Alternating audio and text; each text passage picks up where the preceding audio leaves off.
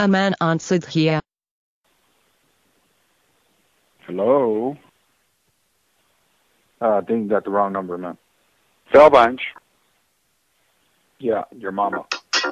What's happening, sir? Wrong number, your mama.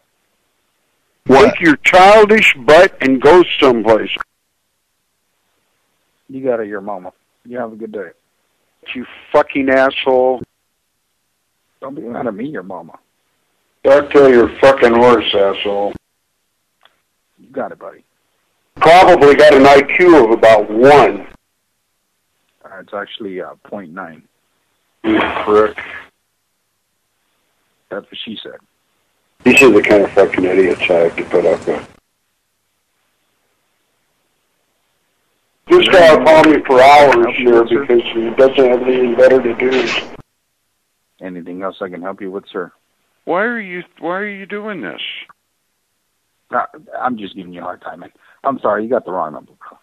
Why are you acting like this? I humbly apologize to you. You have a good day.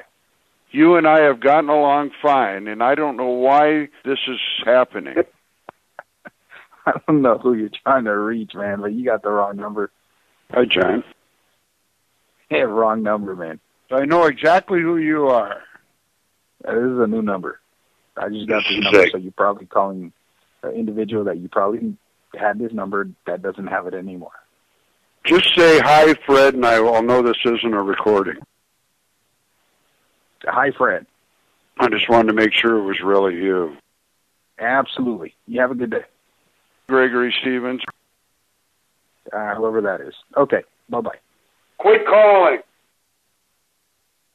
Whoever you are, quit calling me.